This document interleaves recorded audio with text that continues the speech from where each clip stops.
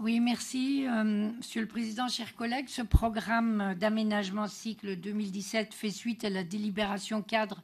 que nous avions votée à la fin de l'année 2014, ainsi qu'à l'ensemble des objectifs que nous partageons afin de favoriser le développement de la part modale du vélo sur notre territoire. Et ce programme euh, concrétise cet important travail mené par la métropole et son vice-président Mongaburu. Dans l'esprit notamment des orientations inscrites dans le PADD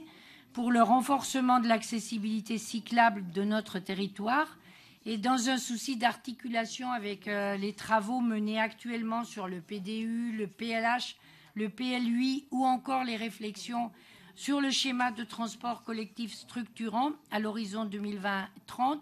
nous nous réjouissons du programme qui nous est ici euh, présenté. La mise en œuvre progressive du schéma structurant d'itinéraire vélo, tout comme les études aujourd'hui en cours sur le réseau secondaire, euh, et dans une dimension d'ailleurs de déplacement et de tourisme de proximité, parce que notre réseau secondaire est très agréable à parcourir aussi pour ça, sont les actions qui nous permettront de remplir l'objectif que nous nous sommes fixés de multiplier par trois la part modale du vélo d'ici 2020. Une attention particulière à la sécurisation et au maillage des axes cyclables, et notamment sur les discontinuités du réseau, participeront pleinement à notre volonté de poursuivre nos ambitions en faveur d'une métropole apaisée via le développement d'infrastructures ad hoc. Et donc le groupe RCSE votera cette délibération.